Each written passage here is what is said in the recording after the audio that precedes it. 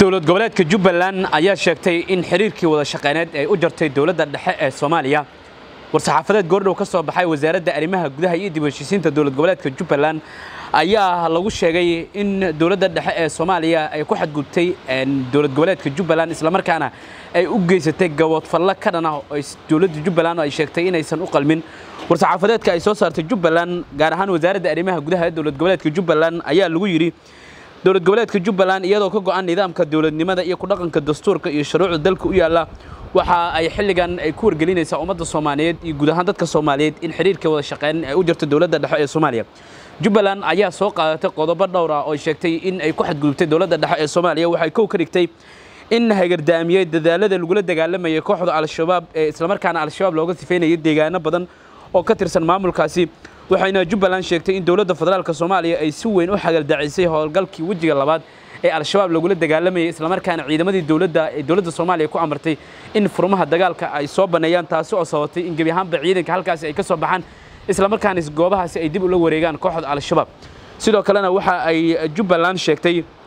in gebi ahaanba la fashiliyey howlgalkii ka socday deegaanada jubbaland ee al-shabaab lagula saaraya deegaanaba ka tirsan dowlad goboleedka jubbaland oo ay ku baxday jubbaland sida ay sheegtay cudud iyo ciidan iyo dhaqaale. Intaba waxayna ay sheegtay in dowladda dhexe ee soomaaliya ay gebi ahaanba ciidamadeeda saaratay. Ciidamadii jubbalandna ay keligood meesha ay ku yihiin islamarkaana keligood dagaalku u yahay dagaalkaasi adagna ay kula jiraan kooxda al-shabaab. Sidoo kale jubbaland waxa ay sheegtay in dowladda dhexe ee soomaaliya ay horistaag ku samaysay in jubbaland ay qabsato doorasho iyadoo ay u madax bannaan tahay iyadoo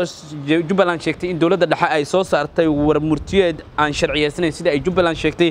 taasi ay doonayso in ay ku caburiso dowladda dhexe ee soomaaliya doorashooyinka jubbaland ku soo foodle gaar ahaan doorashada xildhibaanada iyo midda madaxweynaha jubbaland waxa ay sheegtay in iyadoo arrimahaasi dhan ay loo cuskanayo waxa ay soo saartay laba qodob oo xasaasiya kow iyadoo raacaysa dastuurka kumeelgaarka dowladda federaalka soomaaliya jubbaland kana dheeraanaysa wax kasta oo horseedi kara sharci darro iyo weliba firaaq dastuuriya waxay sheegtay jubbaland inay u madax bannaan tahay xilligan inay qabsato doorashada madaxweynaha iyo iyo tan xildhibaanada ee baarlamaanka dowlad goboleedka jubbaland waxay jubbaland sheegtay in xilligan ay diyaar u tahay in doorashada halkaasi ay ka dhacdo islamarkaana aysan doonayn in la soo fargeliyo doorashadeeda iyaduna ay u madax bannaan tahay labo dowlad goboleedka jubbaland waxay ka digaysaa in aan la siyaasadeeyo islamarkaana si qaldan loo isticmaalo ciidanka xoogga dalka soomaaliyeed oo qabsanayo howlihii loo egmaday ee shaqada ahaa la dagaalanka kooxda al-shabaab waxayna jubbaland sheegtay in xilligan ay diyaar u tahay in ay la dagaalanto kooxahaas oo ay sheegtay in dhibaato badan ay ku hayaan guud ahaan dalka iyo dadka soomaaliyeed. Jubbaland waxay sidoo kale haddaba iyadoo dowlad goboleedka jubbaland arrimahaasi dhan soo cuskanaysa waxa ay jubbaland caddaynaysaa inay hakisay dhammaan xiriirkii wada shaqeyneed ee kala dhexeeyey dowladda dhexe ee soomaaliya ee jamhuuriyadda federaalka soomaaliya uu xilligan hogaamiyey madaxweyne xasan sheekh maxamuud waxayna jubbaland sheegtay in ay xilligan doonayso in wadahadal ay la gasho dowladda dhexe ee soomaaliya.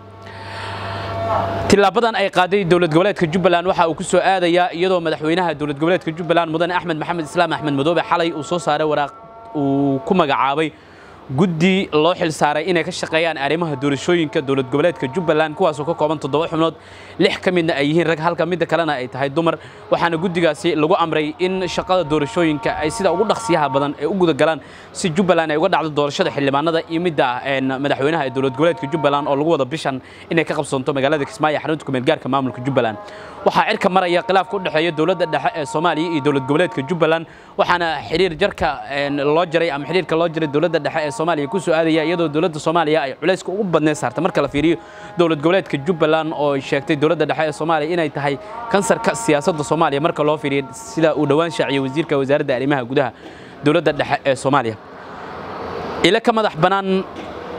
xogahaasi waxa ay sheegayaan oo si hoose u heshay shabeelle ayaa sheegaya in dowladda dhexe ee soomaaliya markii laga soo taga awood siyaasadeed xilligan ay awood ciidan u adeegsanayso dowlad goboleedka jubbaland waxaana la leeyahay